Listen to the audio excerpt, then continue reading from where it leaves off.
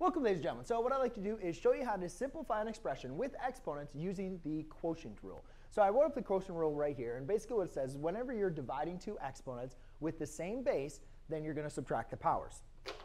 I also wrote up some other rules, which I'm going to get to, but let me kind of just explain, um, again, this rule to kind of make sure it makes sense. So if I was going to do, you know, 3 cubed divided by 3 squared, well, we know that's just going to equal 3, right? Now, you could work this out a couple different ways. You could do 3 cubed, which is 27, divided by 9, which we know is 3. You could also do 3 cubed as 3 times 3 times 3, divided by 3 squared, which is 3 times 3, using the uh, um, quotient property, or the division property, you can see that, again, the answer is equal to 3. So you could multiply them, evaluate, multiply them out, and then simplify. Or you could uh, use this expression, or you could multiply them out with their powers and see that they're still going to give you the exact same result. So again, whenever we are dividing, um, whenever we are dividing, bah, bah, bah, whenever we are dividing exponents, as long as the same base, we're going to subtract the powers. So basically, in this example, all I simply need to do is subtract the, the power in the numerator divided by the power in the denominator, and that gives me x squared. In this exa next example, I'm going to do the same thing. y to the 7th minus 8 equals y to the negative first. Now that brings in an interesting thing. What do we do with the negatives? Now, um, you can see that I wrote some other rules. If I have a variable to the negative power, that's the same thing as writing it as a positive power in the denominator.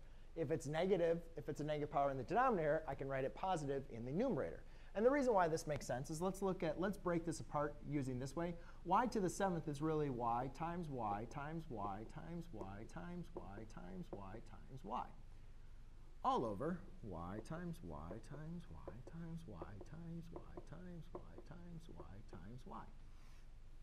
So if you're going to use the division property, that goes to 1, 1, 1, 1, 1, 1, 1 and you're left over with 1 to in the same. So y to the negative first power is the same thing as 1 over y. And that's the preferred route unless it's saying that you can keep them.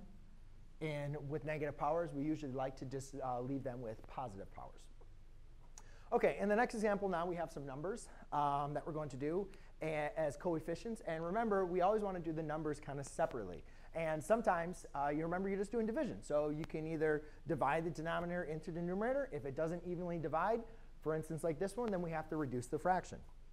So again, I'll rewrite this as 3 over 6 times a to the fifth minus 3. Well, 3 over 6, um, 6 does not divide into 3, but you can reduce that fraction as 1 half. And then that's going to be as a squared times a squared which we can just write this as a squared over 2. OK, um, looking into the next one. Now, again, you can see you're just going to break them apart. So that's going to be 28 over 7 times b to the fifth minus 12. OK, now you can see that 7 actually does divide into 28. 7 divides into 28 four times. And then we have b to the negative negative seventh now again, using my um, negative power, um, or sorry, negative x power rule, uh, what I can do is now rewrite that in the denominator. So you can think of these as being all over 1. So therefore, to rewrite that as in the denominator, I'd rewrite it, rewrite it as 4 divided by b to the 7th. Okay? Um, sometimes you're going to have numbers that cannot, does not evenly divide into it or can be reduced. And you just have to leave it like this.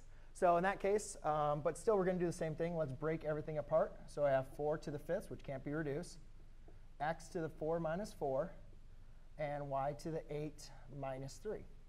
The next one is, um, so that gives me x to the 4 or 5, so x to the 0, y to the fifth.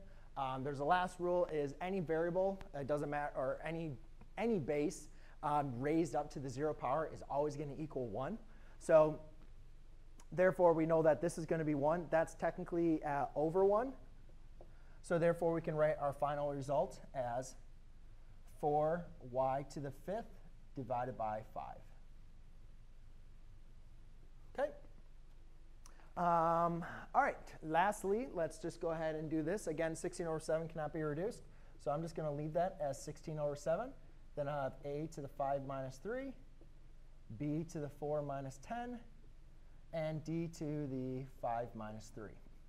When doing that, I obtain a squared, b to the negative 6th, and d squared.